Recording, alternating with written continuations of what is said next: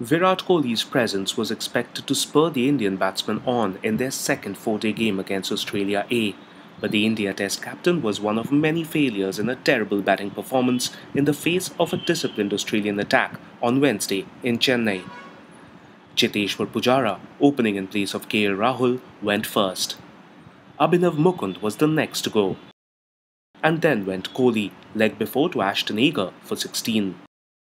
Karun Nair was the only one to offer any resistance, scoring exactly 50. His stand with Naman Ojha, who scored just 10, was worth 56 runs and was the main reason why the Indians managed to bat 68.5 overs.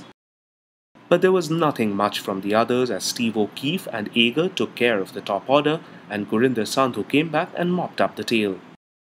That the pitch wasn't as full of demons as the Indians made it seem was clear when the Australians began their reply.